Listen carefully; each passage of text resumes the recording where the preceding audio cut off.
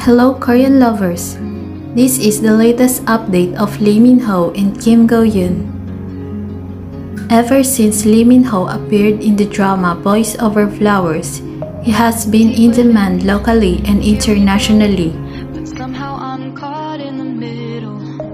Is this the end before we've even His turn in Pachinko, in which he plays Zainichi Korean merchant Ko Han-soo, opposite the scene stealing newcomer Min Ha Kim, is just the latest in a starry resume of acting credits.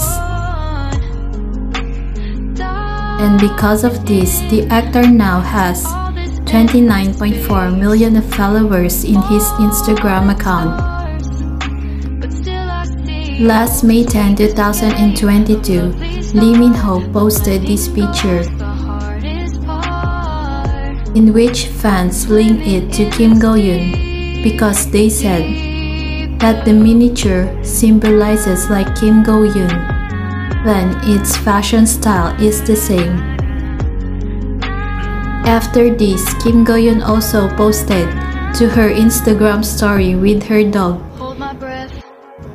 They are walking in the streets while enjoying the heat of the sun. But eagle-eyed netizens saw again a similarity with actor Lee Min Ho in his latest behind film photo. The actor cuddles his cat in the photo. Fans can't help but to ship them. But wait, there's more. Another update of Kim Go Eun which became viral. It's this photo in which he hugged her dog.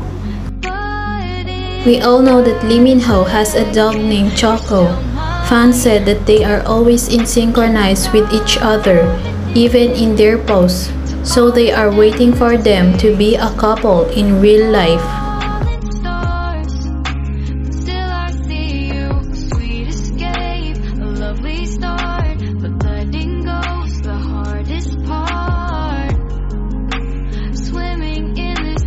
What can you say about this news? Thank you for watching and don't forget to subscribe to my channel.